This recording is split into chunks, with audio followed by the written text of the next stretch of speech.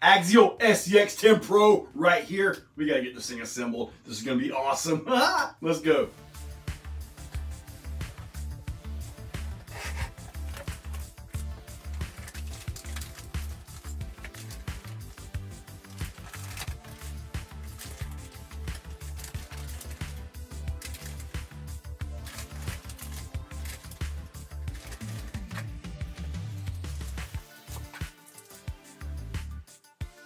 No kidding, guys. It has been a while since I put a kit together. What I'm after here is pretty much a step-by-step -step build of this truck.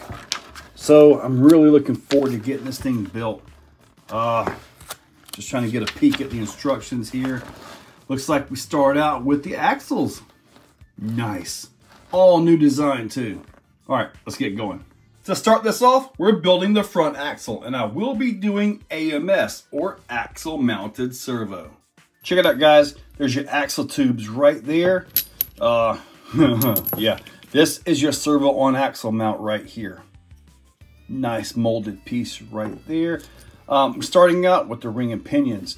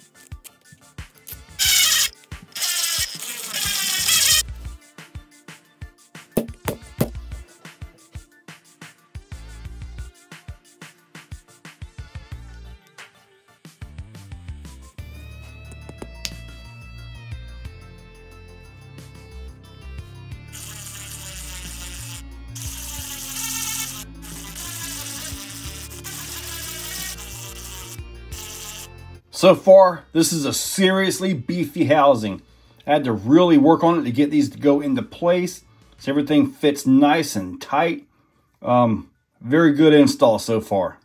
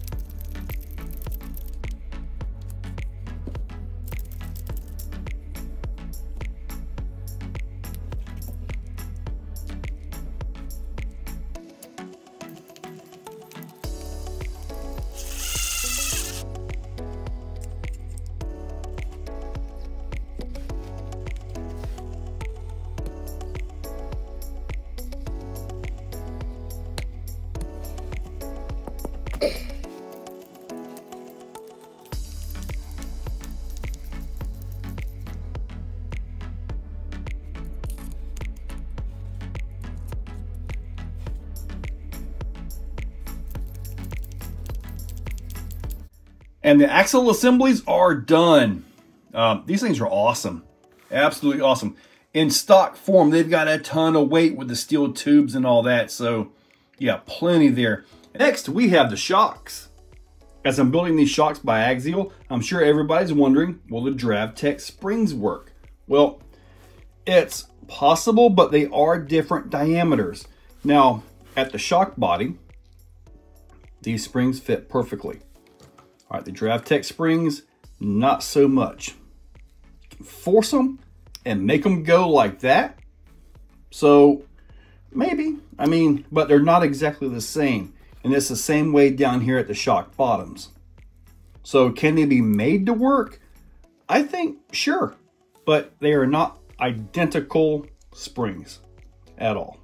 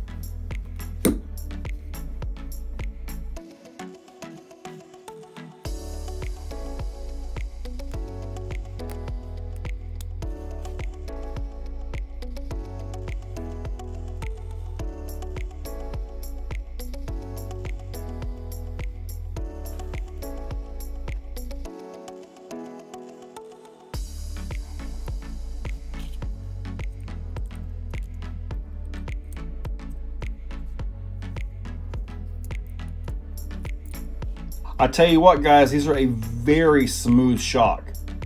Very smooth. Of course, I added some oil to the O-rings, which you're kind of supposed to, right? Very smooth shock. It comes with 35 weight oil. It comes with two of these. And considering how much oil these actually take, uh, yeah, we're probably not even going to use half of one. Now, there is no bladder to these, okay? So it's going to be an emulsion shock, like say, uh, yes, it's, it's, dry right now. Uh, putting the shocks like this, when you get full compression, you may actually end up with air bubbles, depending on how full the shock is. If you mount the shock upside down like this, and this is where you generally ride with your vehicle, which generally is kind of where we ride ours, here the fluid is down here at the bottom and so is the piston. So I'm gonna, I'm gonna put these together just like the kit says. And I'm gonna, when I put the oil in here, I'm gonna have the shock compressed pretty much like all the way there when I put the cap down. This way you don't end up in a hydro lock. Hydro lock is when you have too much oil in the shock and it like bottoms out, like say right there, it won't go in any further. That means you've got the shock shaft actually has a displacement and that displacement is where you need the air or a bladder. This is, like I said, an emulsion shock, so there is no bladder. So, um, yeah, let's go and fill this thing up.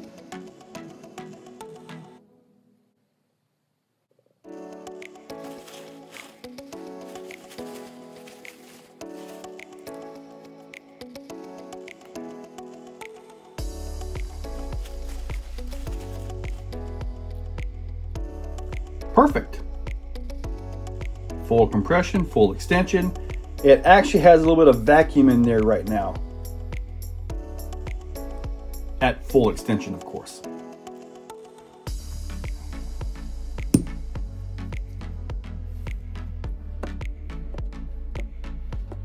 With the shocks done, now it's time to move into the transmission. And this is where things get fun. This is a little bit of a complicated transmission, so I'm going to try to show it all.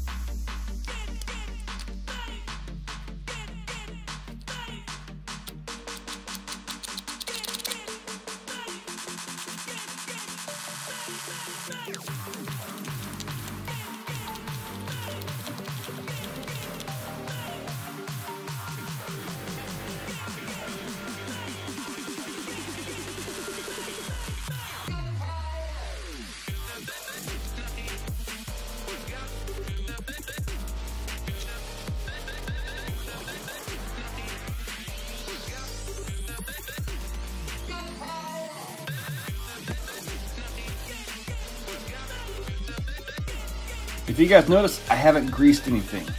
Partly because I wanted to, uh, you know, not get too greasy. But now that we're ready to go, guess what? Time to grease it. Because now it goes into this.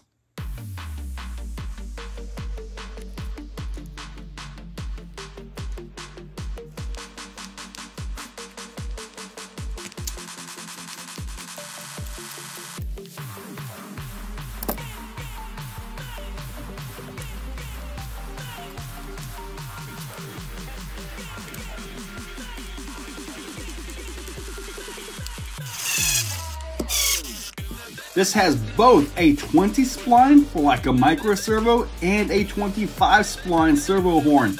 included. This is where your micro servo is going to go right here. Instead, for this video, this is going in. This is your manual selector.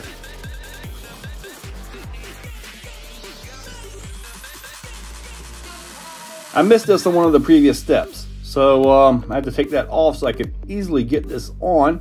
And now I'm just simply gonna put that back in place like you just saw. When shifting this, in the back is your one-to-one. -one. When you go forward with it, that's your like your 40% underdrive. I know earlier in the video I said overdrive, that's just kind of common terminology, but this underdrives the back. It does not overdrive the front. And what this does is it gives you better control when you're crawling. When you overdrive the front, you try to make the entire vehicle speed up. So in essence, you're kind of like uh, changing the overall gearing and all that, which yeah, that's over, that's over and under. But anyway, with this right here, underdriving the back, it helps your gearing.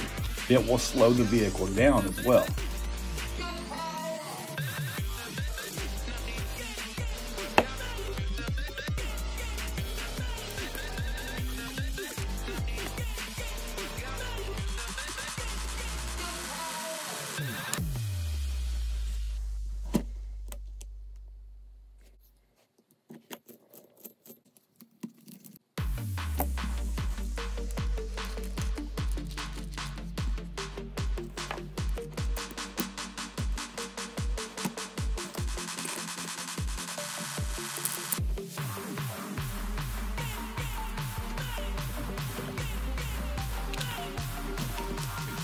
Axle mounted servo, here we are.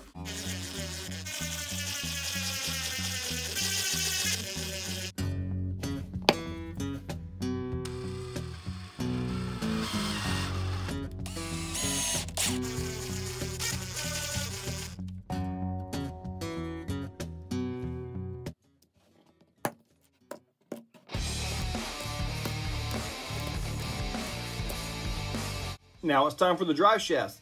These are standard issue drive shafts on almost any truck. So I will put one of them together real quick for you.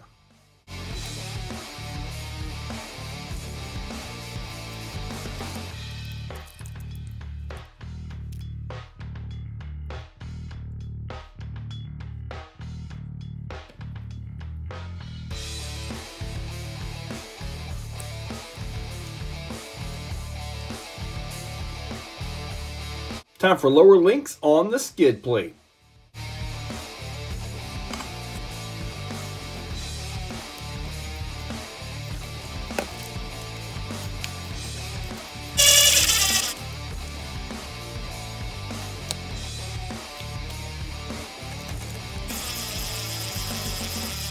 It's about to start looking like something. It's finally time for the chassis.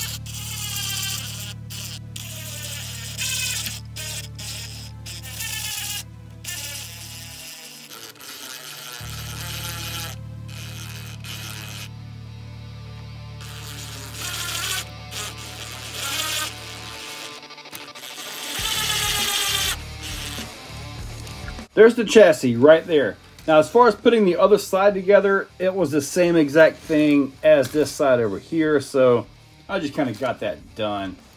But it is very rigid. I mean, like, that is a very solid frame. Really impressed with that.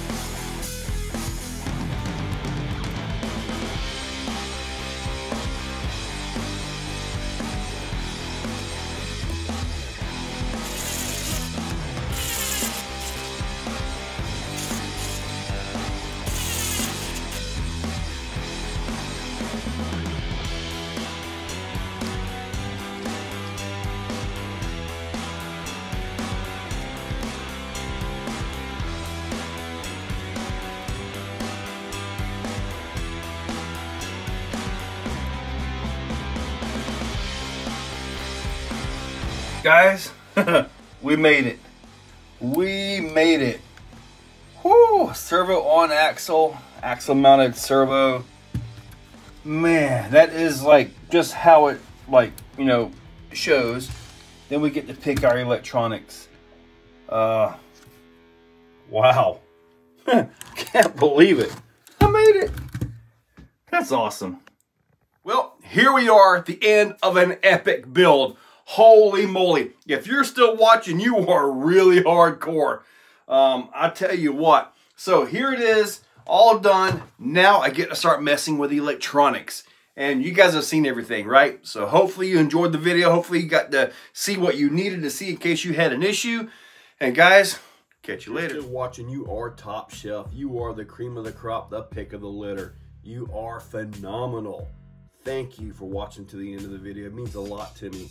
Now, down below, there are links for the products you see, also for channel memberships. If you guys want to be a part, channel members get early viewing on pretty much everything that I can. So guys, check that description. There's a lot of info down there. Thank you all for watching.